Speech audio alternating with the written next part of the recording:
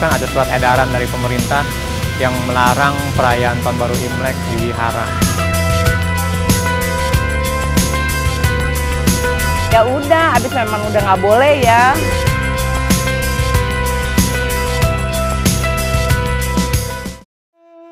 Gongshi Gongshi, halo pemirsa apa kabar? Bagi Anda yang tumbuh dewasa pada era setelah 2000-an, tentu perayaan Imlek ini sudah menjadi hal yang biasa Anda lihat, terutama setiap tahunnya. Bahkan perayaan Imlek ini pun juga sudah menjadi hari libur nasional. Namun tahukah Anda pada saat pemerintahan masa Orde Baru, perayaan Imlek ini bukanlah hal yang biasa, bahkan ternyata dilarang untuk digelar secara terbuka. Bersama saya Marcelina Nagita, saya akan mengajak Anda untuk menengok masa kini melalui kacamata masa lalu, khususnya nih mengenai seperti apa ya masyarakat etnis Tionghoa merayakan Imlek dalam kurungan rezim Orde Baru. Inilah dia, flashback.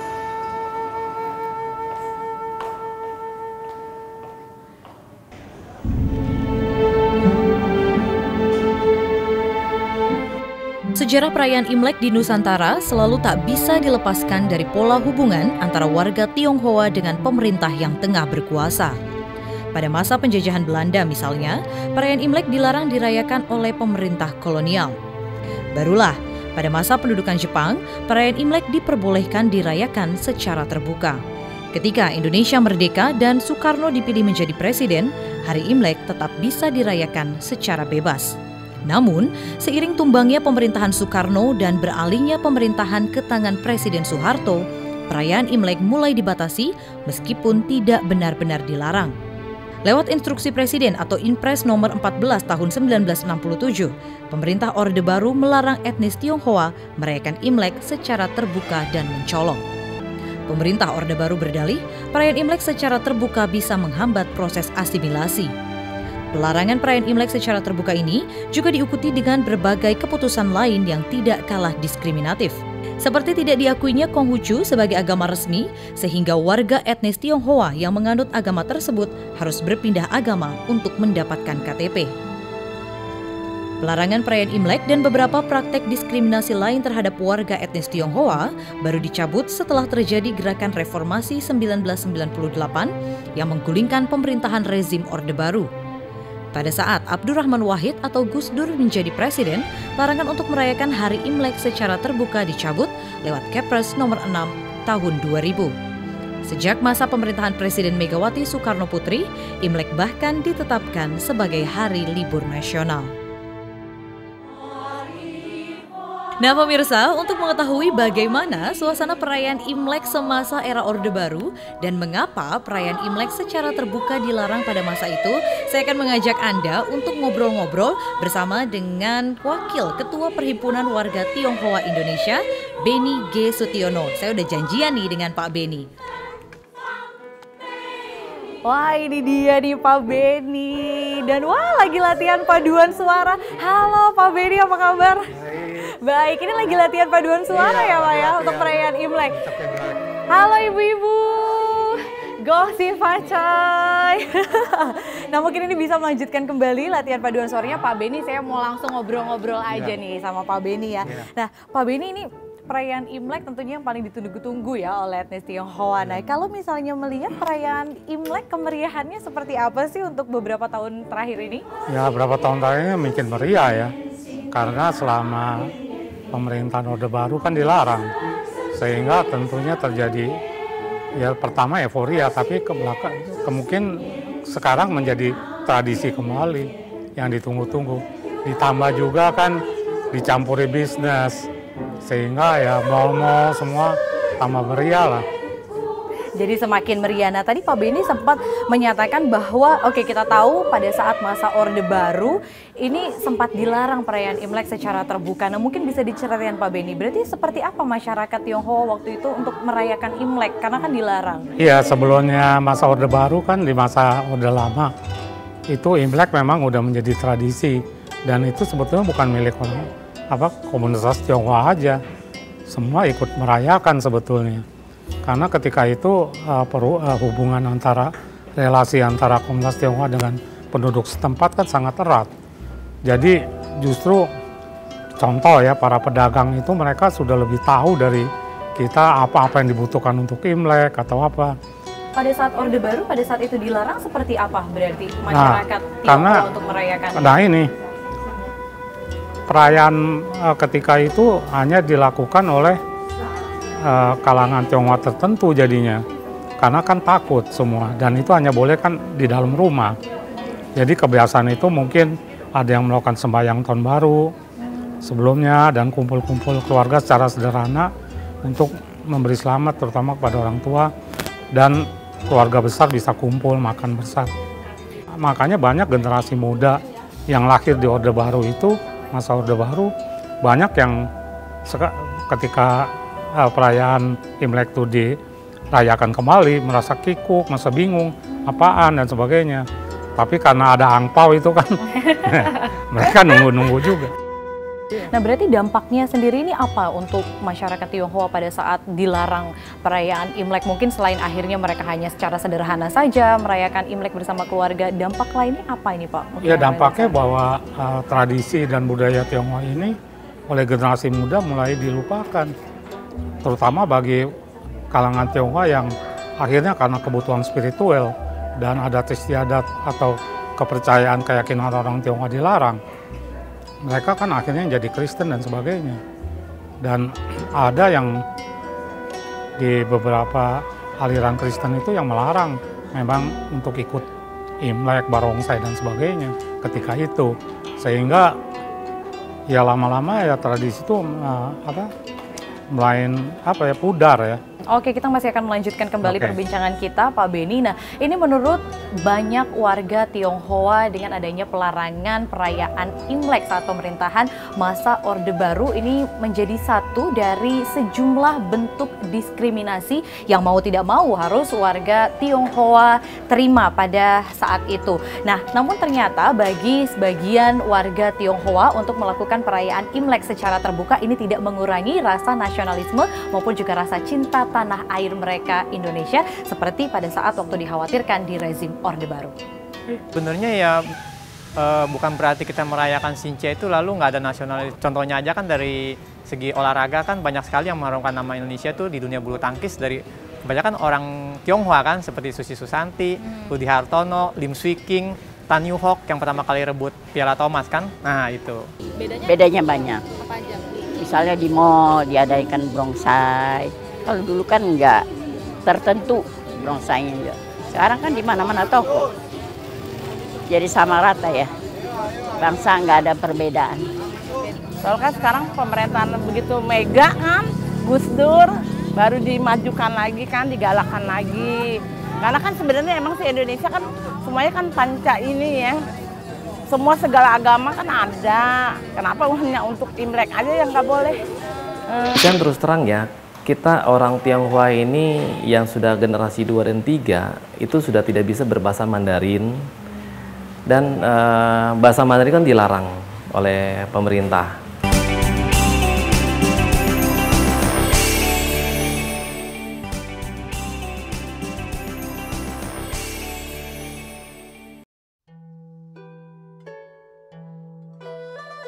Perayaan Imlek sejatinya menjadi hari yang ditunggu-tunggu masyarakat Tionghoa, khususnya yang beragama Konghucu.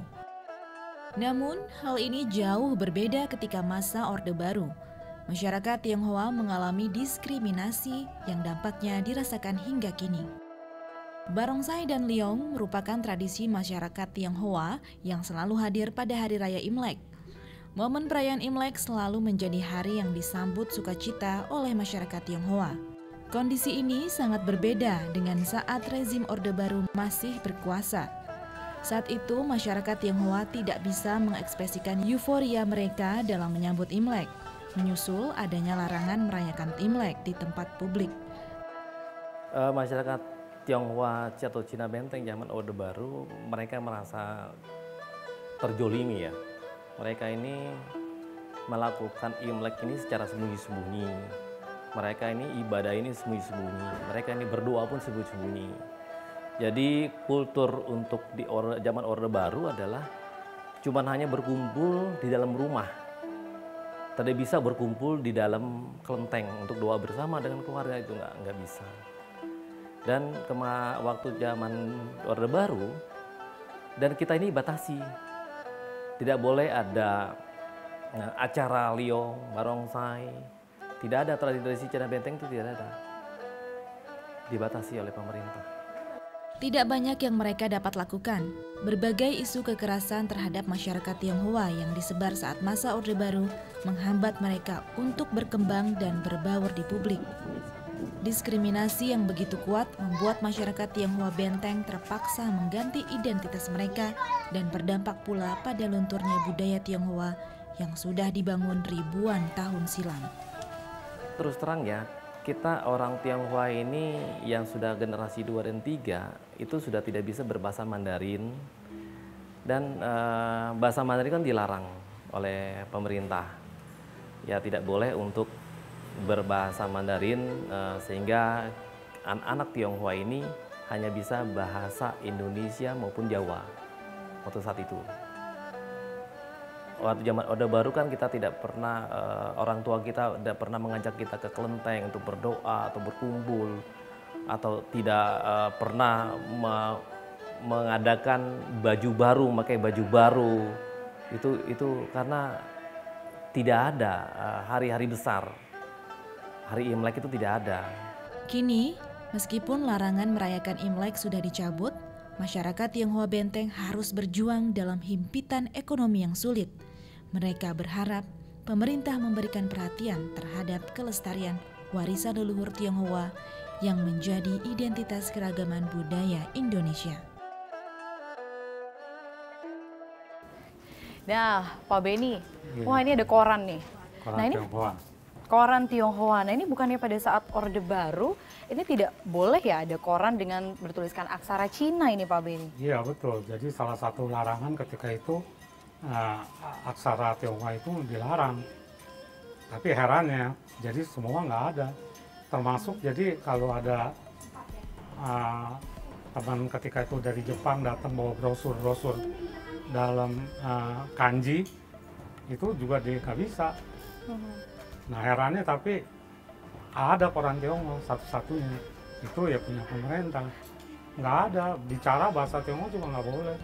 Hmm. Dilarang total. Sampai bahkan namanya pun juga kalau ada yang bawa Tionghoa nih harus diganti ya iya, Pak ya? nama-nama orang-orang diganti. Bayangin bagaimana sebuah marga bagi seseorang itu kan sangat penting ya, itu garis hmm. keturunan. Tapi ya terpaksa dikorbani. Hmm. Nah sebenarnya apa tujuan pada saat pemerintahan Orde Baru ini sampai melarang sebegitunya gitu Pak untuk perayaan Karena Imlek? ingin menghapus seluruh budaya peradaban Tionghoa. Katanya biar berasimilasi total hmm. dengan penduduk setempat di sini. Tapi apakah mungkin budaya yang udah umur 45 ribu tahun ya harus dihilangkan begitu saja? Saya kira hal itu nggak mungkin, apalagi yang namanya budaya Indonesia kan macam-macam juga. Yeah. Ya diintegrasi ke mana? Justru setelah Orde Baru jadi eksklusif kan. Mm-hmm. Orang Tionghoa juga jadi eksklusif. Nah berarti dampak sosial politik yang dirasakan pada saat itu oleh warga etnis Tionghoa apa Pak? Dampak Sangat besar. Politik? Jadi orang Tionghoa hanya diberi lubang, hanya bisnis saja. Akibatnya apa? Mereka sekarang uh, pandai lah dalam bisnis dan sebagainya lebih menguasai. Nah ini salah lagi kan. Hmm. Dianggap hmm. orang Cina monopoli apa okay. menguasai ekonomi Indonesia dan sebagainya. Padahal misalnya saya ketika sekolah nggak ada pikiran untuk bisnis, hmm. dipaksa oleh keadaan ya habis nggak ada pilihan. Pegawai negeri nggak bisa, masuk tentara nggak bisa. Nah, seperti yang tadi disampaikan oleh Pak Beni terkait dengan diskriminasi yang diterima oleh warga etnis Tionghoa pada saat pemerintahan rezim Orde Baru, ternyata ini dinilai sebagai aksi politik untuk menghilangkan jejak warga Tionghoa di Indonesia pada masa itu. Dampak terbesar itu perubahan identitas. Jadi kalau dulu makna kecinaan itu makanya disebut kecinaan itu terkait dengan tradisi, uh, pemujaan leluhur dan juga dengan ritual agama Konghucu. Uh, setelah orde, pada masa Orde Baru itu yang tadi saya bilang berganti menjadi agama Kristen, ada yang Islam dan sebagainya. Uh, identitas kecinaannya itu menjadi bervariasi. Jadi uh, kita tidak bisa lihat lagi orang Cina seperti dulu. Uh, terkait dengan pengujian luar. Jadi banyak kalau kalau sekarang pergi ke tempat-tempat di mana ada upacara kematian sebelum penguburan, uh, jadi rumah-rumah duka. Orang Cina masih uh, kuat dalam uh, ke rumah duka itu. Nah di situ kelihatan mana yang masih memakai tradisi lama, mana yang sudah ya dibacakan doa secara Kristen, secara yang lain-lain gitu kan. Nah, nah, saya masih akan melanjutkan perbincangan saya bersama dengan Pak Beni G. Setiono, Wakil Ketua Umum Perhimpunan Indonesia Tionghoa. Namun sesaat lagi tetap di flashback Pak, kayaknya lebih enak duduknya di sini. Iya, ya. ini lebih baik sambil Boleh duduk. Kita Iya. Pemerintahan Indonesia sekarang luar biasa. Misalnya, uh, jangan ngimpi orang Tionghoa tuh bisa jadi gubernur kayak Ahok.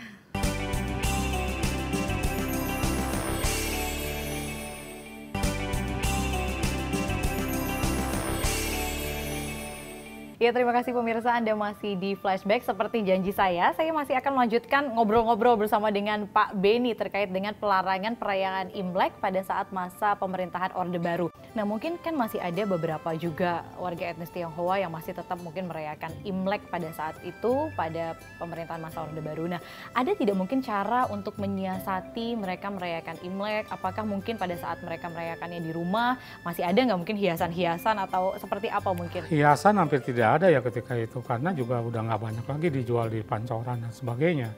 Yang ada saya kira di dalam keluarga masih karena tradisi misalnya uh, uh, menghormati leluhur itu mereka masih ada yang sembahyang tahun baru termasuk keluarga saya dan pada umumnya ini di kalangan peranakan jadi orang peranakan itu kan lebih kental sebetulnya ketionghoaannya. Pemirsa, pelarangan perayaan Imlek secara terbuka pada masa Orde Baru sempat membuat banyak warga Tionghoa tidak bisa leluasa mengekspresikan identitas kultural mereka. Meski demikian, mayoritas warga Tionghoa di berbagai pelosok Nusantara tetap berupaya merayakan momen penting dalam kalender budaya Tionghoa tersebut. Karena adanya larangan perayaan secara terbuka, banyak warga Tionghoa terpaksa merayakan Imlek dengan cara sederhana di rumah-rumah. Tak ada pesta-pesta kembang api, tak ada kemeriahan di kelenteng, dan tak ada pertunjukan liong atau barongsai di tempat umum. Dulu merayakannya sederhana aja, nggak terlalu heboh gitu.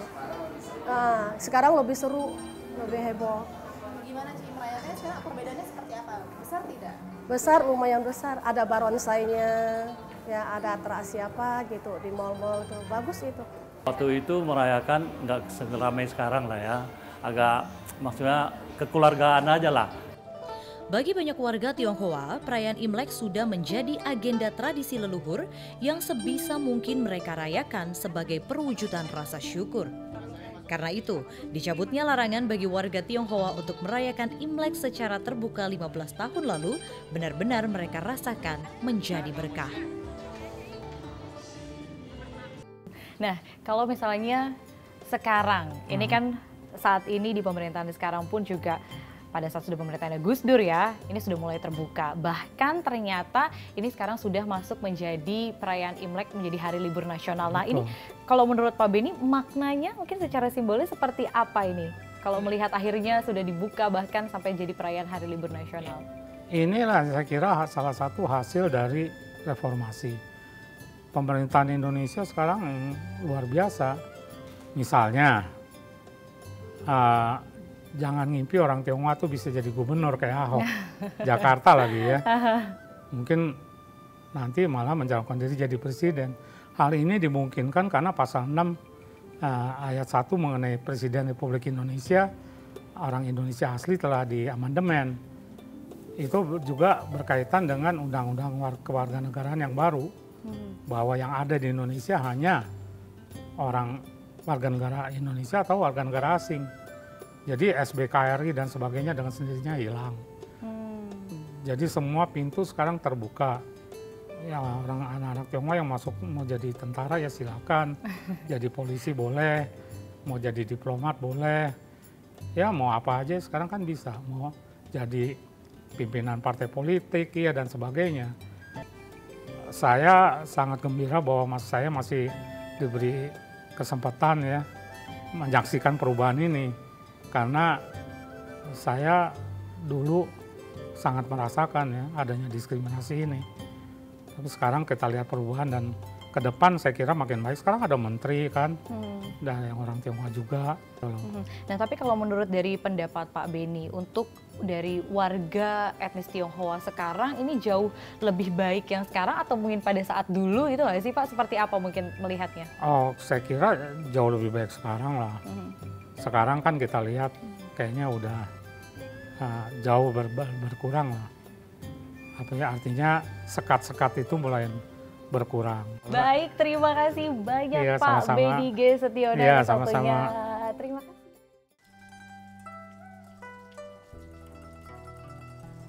Meskipun perayaan Imlek sempat dilarang digelar secara terbuka pada masa pemerintahan Orde Baru, namun akhirnya setelah reformasi, masyarakat etnis Tionghoa di Indonesia bisa turut serta menggelar perayaan Imlek secara terbuka bersama-sama. Bahkan kulturasi budaya ini pun juga sudah berbaur bersama dengan budaya lainnya di Indonesia. Demikianlah flashback kali ini. Kita akan ketemu lagi dalam flashback berikutnya. Saya Marshallina Gita. Selamat Hari Raya Imlek. Gong Si Facai. Sampai jumpa.